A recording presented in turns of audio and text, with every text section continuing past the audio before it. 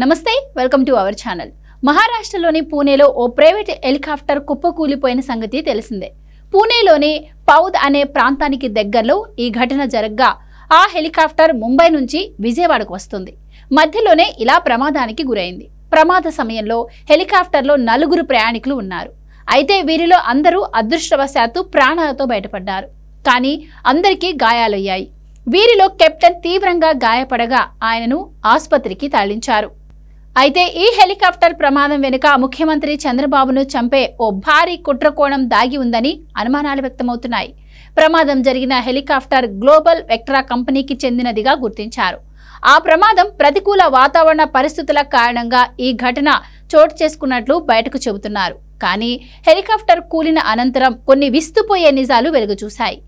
AP CM Chandrababu పర్యటనల కోసమే హెలికాప్టర్ను ముంబై నుంచి విజయవాడకు రప్పిస్తూ ఉండగా ఈ ప్రమాదం చోటు చేసుకుంది.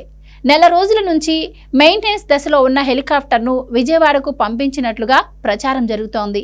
రాష్ట్రంలో సుదూర ప్రాంతాలకు సులువుగా వెళ్ళడం కోసం ముఖ్యమంత్రులు హెలికాప్టర్లలో వెళ్ళే సంగతి తెలిసిందే. సాధారణంగా ఈ హెలికాప్టర్లను రాష్ట్ర ప్రభుత్వాలు ప్రైవేట్ ఏవియేషన్ కంపెనీల నుంచి అద్దెకు లేదా లీజుకు తీసుకుంటాయి. ఆ క్రమంలోనే చంద్రబాబు పర్యటనల కోసం ఏవియేషన్ కోఆర్డినేటింగ్ ఆఫీసర్ నరసింహారావు ఆధ్వర్యంలో గ్లోబల్ వెక్ట్రా కంపెనీకి చెందిన ఓ హెలికాప్టర్ను బుక్ చేసుకున్నట్లు తెలిసింది.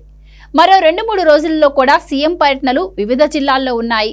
ఈ కారణంగానే సీఎం పర్యటన కోసం ఆ హెలికాప్టర్ను హైర్ చేసుకున్నట్లు తెలిసింది. అదే హెలికాప్టర్ తాజాగా క్రాష్ కావడంతో ఏపీ అధికారుల్లో తీవ్ర చర్చ జరుగుతోంది.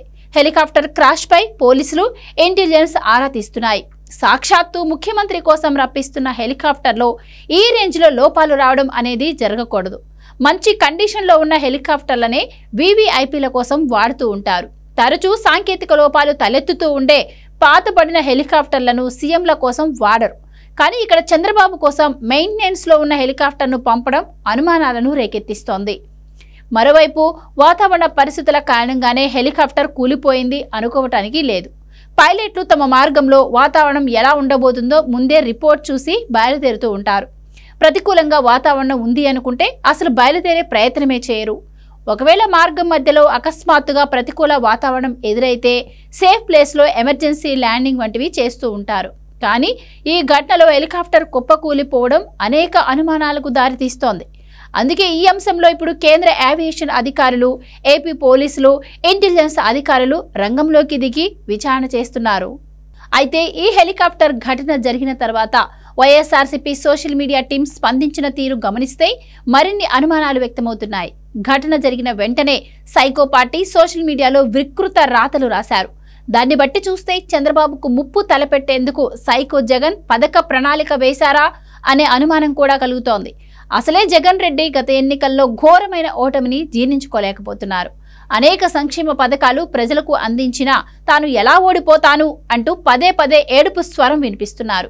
పైగా జగన్ రెడ్డి తన మెడకు కేసుల ఉచ్చు ఎక్కడ తగులుతుందో అని తెగవణిగిపోతున్నారు మొండి వైఖరితో గత సెప్టెంబర్లో సచ్చీలుడైన చంద్రబాబును జైల్లో పెట్టి పగ తీర్చుకున్నారు జగన్.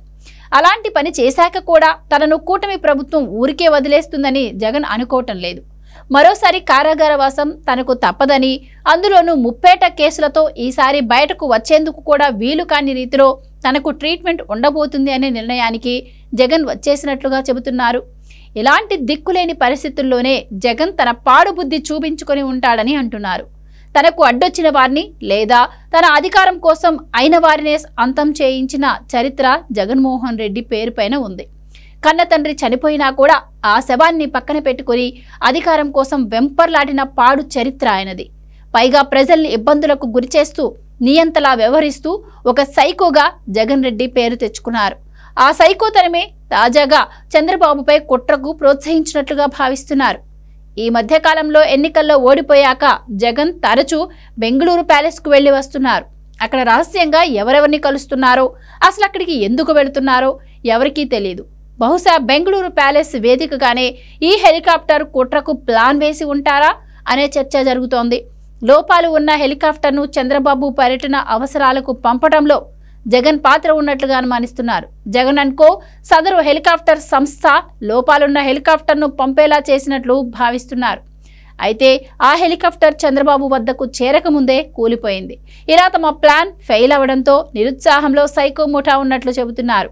ఏది ఏమైనప్పటికీ పోలీసులు ఇంటెలిజెన్స్ వర్గాల్లో ఉన్న ఈ ప్రాథమిక అనుమానాలను మరికొద్ది రోజుల్లోనే తేలనున్నాయి ఇప్పటికే సీఎం కోసం వస్తున్న హెలికాప్టర్ కూలిపోవడాన్ని సీరియస్గా తీసుకున్నారు రాష్ట్ర పోలీసులు కేంద్ర ఏవియేషన్ వర్గాలు ఇంటెలిజెన్స్ విభాగం. ఈ స్కెచ్ వెనుక ఉన్న సూత్రధారులు పాత్రధారులు వారి వెనుక బడా నేతలు కూడా బయటకు వస్తారని అంటున్నారు.